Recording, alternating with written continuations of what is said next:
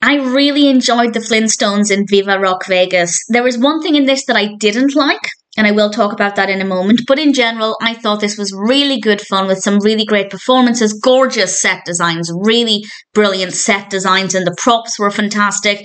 I'll get in with those in a moment. This was released in 2000. It's directed by Brian Levant and it's written by Deborah Kaplan, Harry Elfont, Jim Cash, and Jack Epps Jr., with a great cast, including Mark Addy as Fred, Stephen Baldwin as Barney, Kristen Johnston as Wilma, and Jane Krakowski as Betty. We also have Joan Collins as Wilma's mother, Pearl. And I really liked Jane Krakowski, so I was really looking forward to this, and I think she really suited the role of Betty really well. I think the casting across the board was really great. And then we have the character of Gazoo or the great Gazoo, voiced by Alan Cumming. No problems with the voice there, but I really don't like the character. Now I know the character is from some of the animations. It's not a character created for this film, but I just feel like it felt so pointless and unnecessary. He is an alien. He comes down to Earth to observe the ways of the humans and it's just i hated it to be honest i hated what the character brought to this, but thankfully he's not necessarily constantly in focus, so I was able to overlook that. But I just thought it was an unnecessary decision. Again, I know he's from some of the classic episodes, but I still didn't think it was a good decision. The rest of it, though, I rather enjoyed. It's all about, or mostly about, Fred getting to know Wilma realizing that he has feelings for her and trying to find a way to tell her this, but there are, of course, obstacles along the way, and we have the Vegas aspect, and it got off to an interesting start. I don't want to say exactly what happens, but it was a really strong start, and then it just went on and on from there. It's also partly about the new friendship between Wilma and Betty, which I really liked seeing. We also, of course, have the friendship between Fred and Barney, which is such a joy, and I really enjoyed that a lot. So, definitely the characters are exactly as I would want them to be. The costumes, the costumes are absolutely incredible, particularly Jane Krakowski's. I think hers just looks amazing. The, the color is perfect, the shape of the dress is perfect, the main blue dress, of course. Absolutely loved it, but everybody's costumes were brilliant. We had some amazing costumes for Pearl, Joan Collins' character. She looked absolutely fantastic. The set designs are ridiculous they're amazing. Whenever I watch a film that has an interesting set design, I always ask myself, how much would I be willing to pay to visit that set design if it still existed? With this one, I'd be willing to pay quite a bit. Not just because of the set designs themselves, but also the props.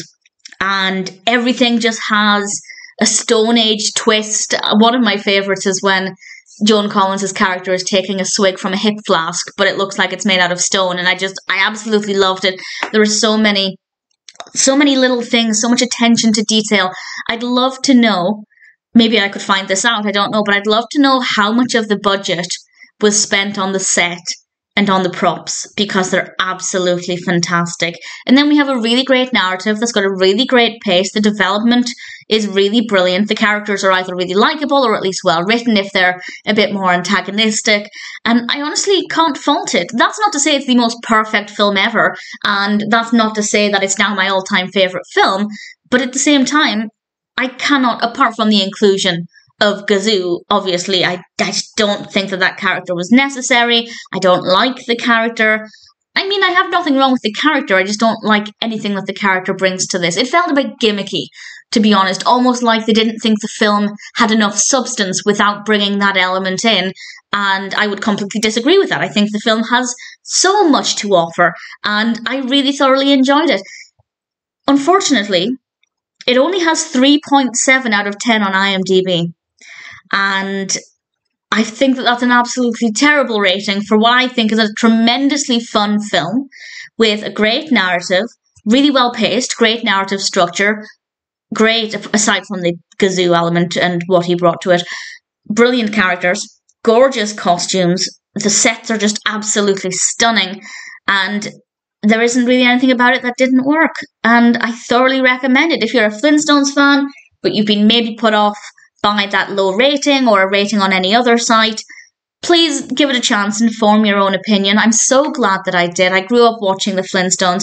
I think I'd seen this I didn't have a strong recollection of it, but there were just a few things here and there that gave me kind of a tiny bit of nostalgic memory, but it could just be I'd seen the trailer for it. I don't know, but certainly I couldn't remember it if I had seen much of it, and I adored it. Really thoroughly enjoyed it. Great fun, great story, fabulous characters, great casting, gorgeous set designs.